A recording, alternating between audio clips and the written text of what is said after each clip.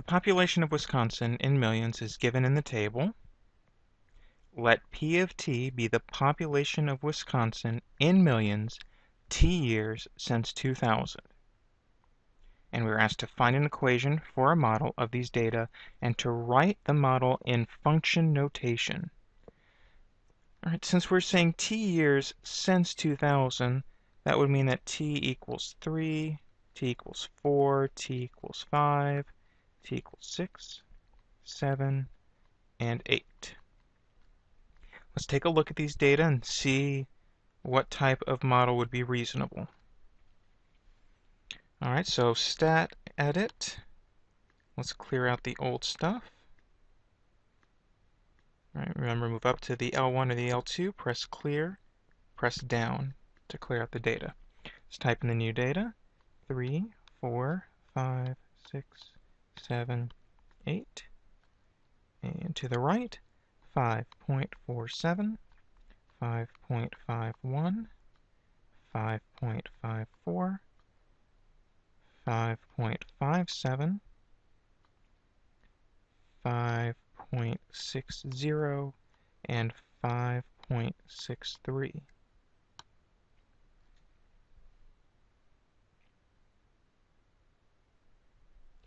All right, let's think of our data. Uh, 0 to 10 on the x's would be good, and how about just 5 to 6 on the y's? All right, so window 0 to 10 by 1, and outputs 5 to 6, and we'll use a scale of 0.1. Let's look at the graph. Oh, I've got to turn the stat plot on first. Stat plot, let's turn it on. All right, now we'll look at the graph. All right, nice. See, this does look fairly linear. And in fact, if you sort of look at the data, look at the original data over here, look at these changes.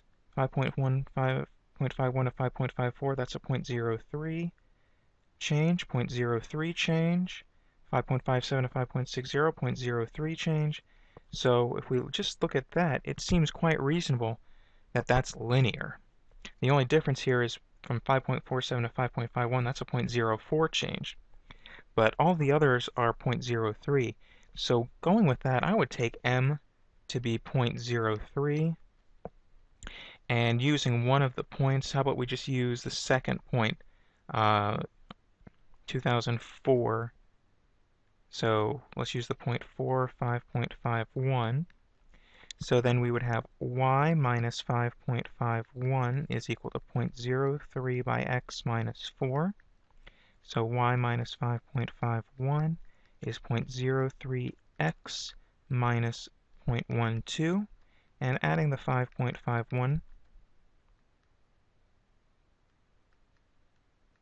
we would have y equals 0.03x plus 5.3 9.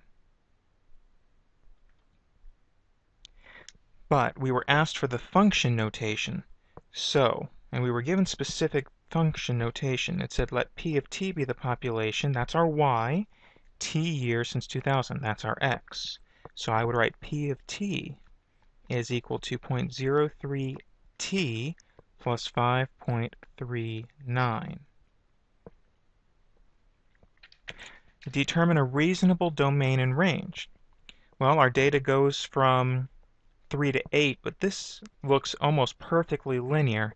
So I'm going to take it out a little bit further than we have, we have in the past. Let's go out 3 units on either side. So I would say that t can go between 0 and 11. So there's our domain. And then for the range, well, let's do as we did before. Let's put in our y equals equation here, which would be 0.03x plus 5.39. And let's use our table at those endpoints. t equals 0, 5.39, t equals 11, 5.72. So we, I would say that 5.39 less than p of t is less than or equal to 5.72. That would be the range.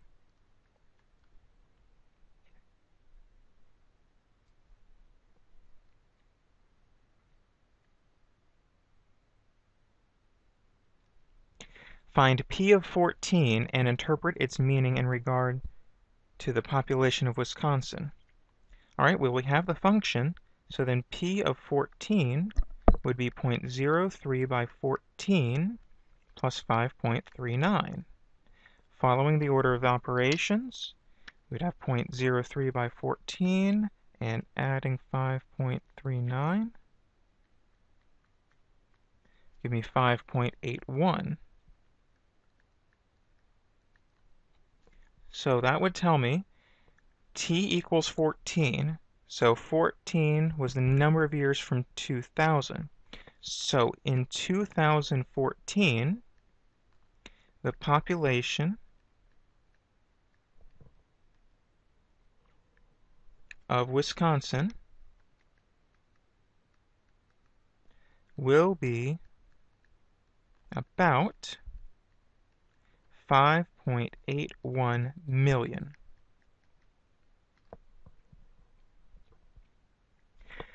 Part D.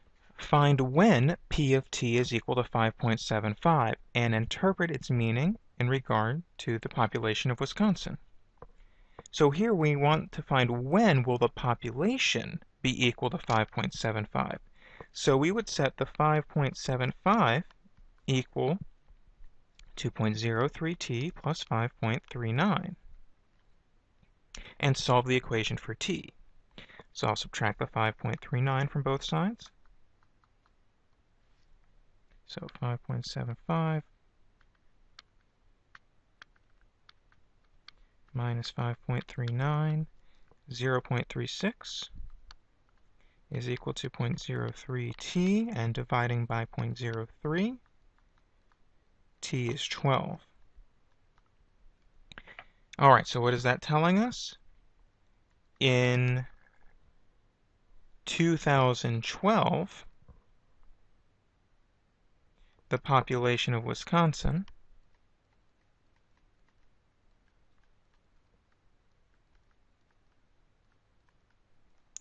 will be about 5.75 million.